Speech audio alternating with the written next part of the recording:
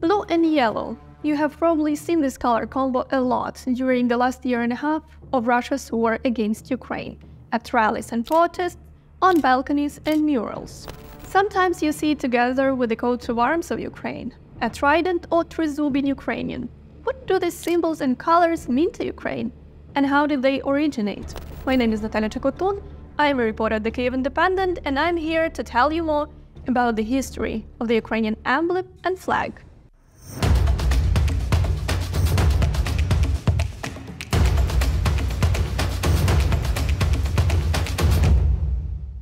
Combination of blue and yellow color was used as the emblem and flag of the Kingdom of Galicia-Volhynia, a medieval state that existed on the territory of modern-day western Ukraine between the 12th and 14th centuries.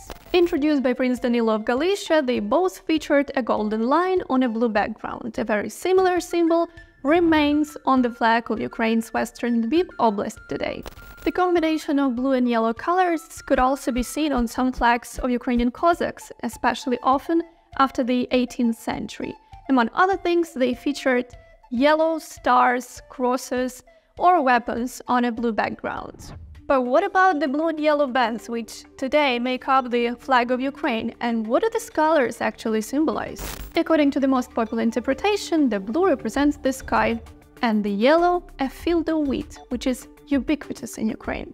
A flag with blue and yellow bands was raised at the Lviv City Hall for the first time in June 1848, during a wave of revolutions across Europe, which later became known as the Springtime of Nations. Following the collapse of the Russian Empire in 1917, the Ukrainian People's Republic, a short-lived independent Ukrainian state, adopted the blue and yellow bands as its official flag. In 1918, it also became the flag of the Western Ukrainian People's Republic, a state that existed between 1918 and 1919 before uniting with the Ukrainian People's Republic. Pictures of the flag from the time have sparked a heated debate in today's Ukraine. Does the blue go on top and yellow on the bottom? Or vice versa. Historian Andrei Hrechilo says that blue and yellow colors were distorted in black and white pictures at the time due to the use of silver bromide in photography, making it hard to tell which color was on top. But if you compare Ukrainian flags in black and white pictures of the time with flags kept in museums, you'll actually see that blue is on top.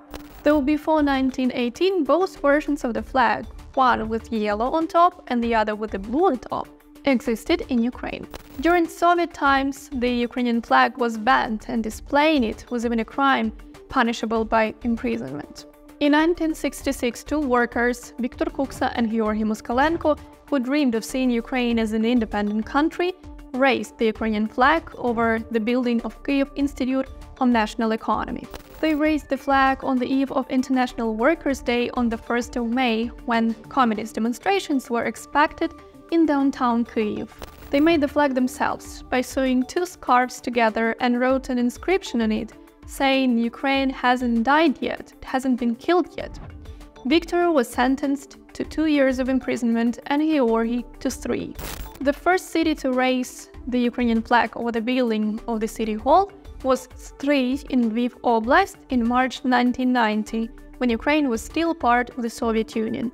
It was raised in Kyiv in July 1990, shortly after the parliament of the Ukrainian Soviet Socialist Republic adopted the Declaration on the State Sovereignty of Ukraine on the 16th of July 1990, a precursor of Ukraine's Declaration of Independence in 1991.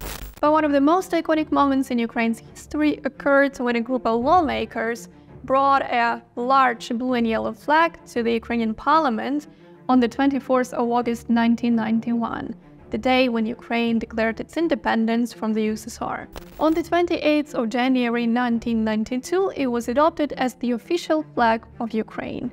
During turbulent times in Ukraine's modern history, the blue and yellow flag has always been present. People carried it during the Revolution on Granite in 1990, the Orange Revolution in 2004, and the Euromaidan Revolution between 2013 and 2014.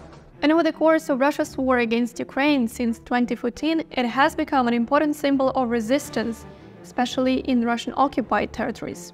In 2013, Ukrainian farmer and activist Vladimir Balukh raised the Ukrainian flag over his courtyard in Crimea, Following Russia's annexation of Crimea in 2014, Russian Federal Security Service officers took down the flag twice. Eventually, Balukh was falsely convicted of weapons possession and disobeying the police and sentenced to five years in prison.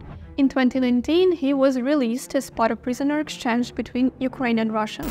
In 2022, Bogdan Ziza, another activist from Crimea, poured blue and yellow paint over the entrance to the Russian occupational administration in the city of Yevpatoria.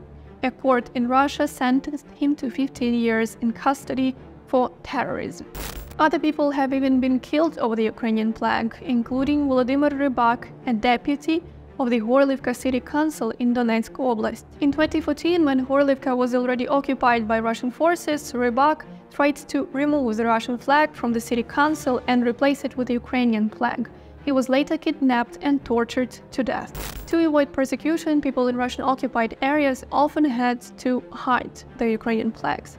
Some even buried them under paving slabs, like this woman from Kherson. She dug up the flag only after Ukrainian forces had liberated the city. When celebrating the liberation of Kherson in November, some people carried the Ukrainian flags they had hid during the occupation.